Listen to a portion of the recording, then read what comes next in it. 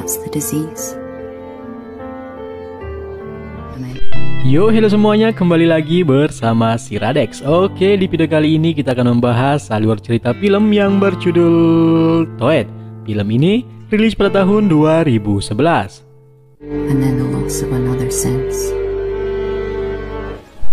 Film diawali dengan seorang wanita yang bernama Susan. Dia adalah seorang profesor epidemiologi dan temannya bernama God.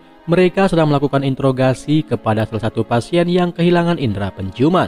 Padahal pasien tersebut tidak pernah ke mana-mana dan tidak pernah kontak dengan penderita yang lain.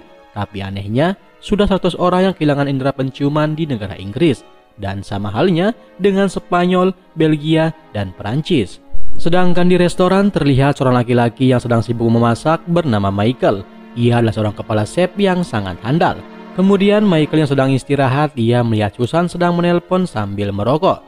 Michael yang ingin berkenalan, ia pun meminta rokok dan korek sambil memperkenalkan dirinya. Esok harinya, Susan dan temannya bernama mereka sangat kesusahan untuk menemukan penyebab orang-orang kehilangan indera penciuman. Pel pun mengatakan virus ini tidak menular. Hari-hari pun terus berjalan di mana banyak orang mulai merasakan kesedihan yang tidak normal, hingga menyebabkan mereka mulai kehilangan indera penciuman.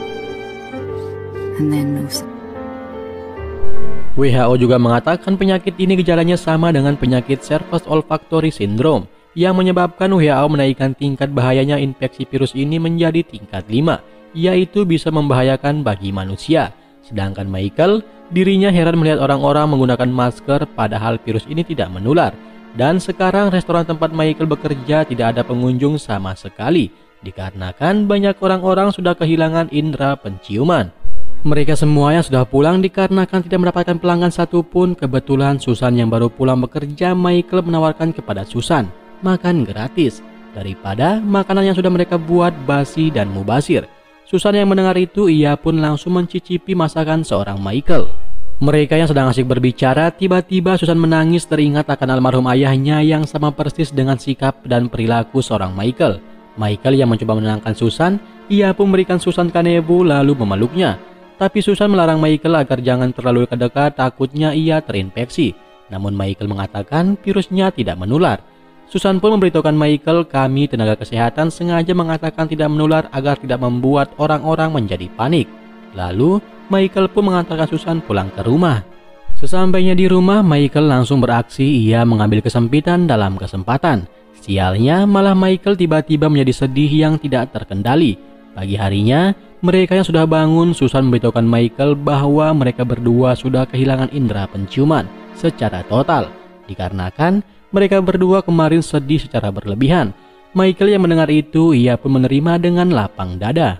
Beberapa hari kemudian, bos Michael yang tidak ingin bangkrut, ia menyuruh bawahannya agar memperkuat aroma makanan menjadi lebih kuat dari sebelumnya, supaya orang-orang bisa mencium bau makanan yang mereka makan.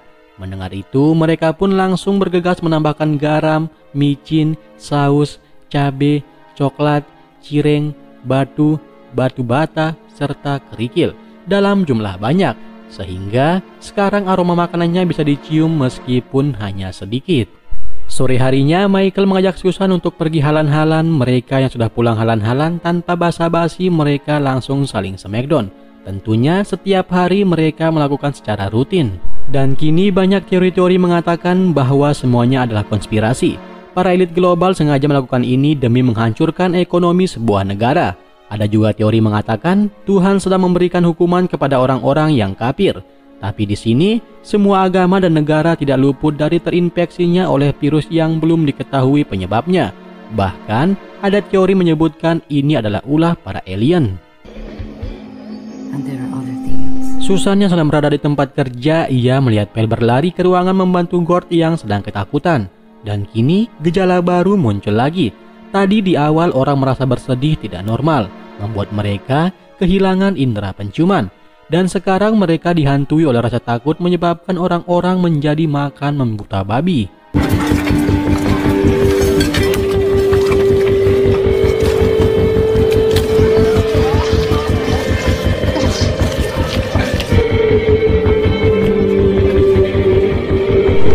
Semua orangnya mulai sadar atas apa yang dilakukan, kini mereka menjadi malu dan mulai timbul efek baru yaitu kehilangan indera perasa.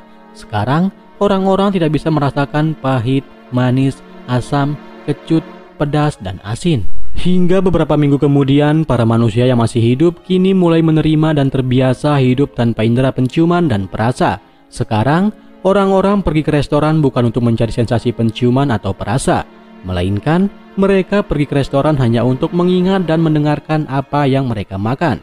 Mereka yang tidak bisa merasakan apa yang dimakan, banyak orang mulai mencoba memakan tanah ataupun kerikil, ditambah dengan memakan semen, dan terbentuklah bangunan Monas serta patung Jenderal Sudirman di usus mereka. Waktu pun terus berjalan dan kini beberapa minggu kemudian seorang ilmuwan yang sedang di Thailand memberitahukan Susan dan Pel serta God bahwa di sana muncul gejala baru, yaitu orang-orang mulai marah, merasakan kebencian dan kekerasan secara tidak terkendali, sehingga di Thailand, Cina, Rusia, dan India muncul efek baru, yaitu orang-orang sudah tidak mempunyai indera pendengaran. From Thailand, across India to China, Russia, and beyond.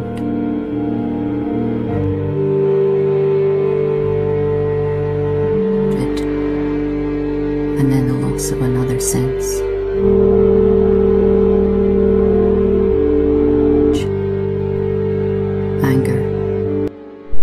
Esok harinya, Michael yang mengajak Susan pergi ke rumahnya. Tiba-tiba, Michael mengeluarkan gejala rasa marah, benci, dan rasa ingin melakukan kekerasan. Beruntungnya, Susan yang tidak ingin terjadi apa-apa kepada dirinya oleh amukan Michael, ia pun berhasil kabur. Sedangkan di jalan, orang-orang sudah mulai mengamuk. Beberapa jam kemudian, Michael yang baru sadar atas apa yang ia lakukan, ia pun mencoba teriak tapi ia tidak bisa mendengar apa-apa. Kini, banyak orang-orang sudah kehilangan indera pendengar. Sedangkan Susan yang pergi ke tempat kerjanya, ia bertemu dengan Gord. Di sini, mereka berdua masih sama-sama belum kehilangan indera pendengar. Kemudian tiba-tiba ada telepon dari Michael yang mencoba minta maaf atas apa yang telah ia lakukan, tapi Susan yang tidak terima, Michael mengatakan, itu bukan diriku tapi virus yang membuatku seperti itu. Susan pun langsung marah-marah tidak karuan, bagaikan orang gila. Sedangkan Michael ia dilarang keluar oleh petugas dikarenakan petugas akan siap mengirimkan makanan setiap jam makan. Susan yang baru terbangun sekarang ia sudah tidak bisa mendengarkan lagi. Kemudian ia pergi mencari God dan ia pun bertemu dengan God yang baru mulai menunjukkan gejala marah-marah. Lalu Susan yang takut ia pun langsung pergi ke rumah temannya. Sedangkan Michael ia pergi ke restoran membangunkan bosnya. Hari-hari pun terus berjalan di mana kenyataan manusia masih hidup mereka harus terbiasa beradaptasi dengan keadaan yang sekarang. Dan kini kehidupan sudah mulai hampir pulih seperti biasa. Meskipun manusia tidak mempunyai indera penciuman, perasa, dan pendengar. Sedangkan Michael, dirinya setiap hari menunggu kepulangan Susan yang belum balik dari kepergiannya bulan kemarin. Tiba-tiba, indera penglihatan semua manusia menjadi hilang semuanya menjadi gelap gulita. Pagi harinya semua manusia sangat senang dan sangat bersyukur penglihatan mereka kembali lagi. Meskipun mereka tidak bisa mencium, mengecap, dan mendengarkan. Setidaknya mereka masih bisa menjalani hidup dengan melihat. Sedangkan Susan dan Michael, mereka yang mempunyai kesempatan untuk saling memaafkan, mereka berdua pun bergegas pergi menuju ke rumahnya Susan. Dan di sini mereka bertemu lagi lalu berbagi oksigen. Mereka pun Hidup bahagia tapi kegelapan kembali datang. Semua manusia tidak bisa melihat, mengecap, mendengarkan, dan mencium bau. Manusia hanya bisa merasakan gaya dan cara saling smackdown. Bodies. Oke, cukup sekian video kali ini. Jangan lupa tinggalkan like and subscribe channel ini agar channel ini bisa berkembang dan makin berkembang. Bye bye.